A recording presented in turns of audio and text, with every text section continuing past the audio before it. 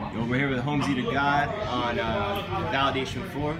You're one of the standout standout performances of the night. So uh, for those who aren't, who, who don't know you, can you uh, introduce yourself? How long you been battle? It's the big bearded bastard, lyrical assassin. Don't ask for the blunt because I'm not passing. You feel me? Homzie the God, my nigga. Free my nigga Trub, loud boy shit. What's up with you, bro? I had a um, I just battled a nigga named Zoe Green, Validation 4. It's my second time on RBE. And it was a clean 3-0. Like, this is my second time It was having a alright. 3-0. It was it was a full three, but he three. He did something. He did like a two and a half or two and a quarter. He won. it was a clean 3-0. you feel me? I, I don't know, bro. Like, I thought he was gonna come with some better shit, honestly. Just so happened that he didn't, so, you know what I'm saying? The cookie crumbled the way it usually does, you know what I'm saying?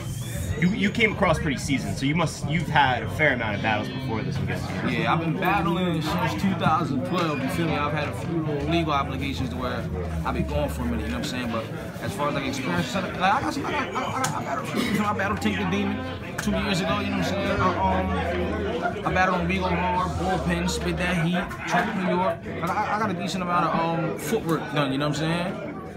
But yeah, other than that, I, I plan to come back here again, probably versus a bigger name and, and do the same thing I did last time. You got anything booked coming up?